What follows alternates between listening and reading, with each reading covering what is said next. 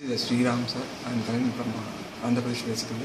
I came here for studying about GST for two days classes. It's very useful for uh, knowing about uh, the taxation, tax system, and newly which is uh, coming into existence. Uh, very good program so that I can manage my own business. Thank you.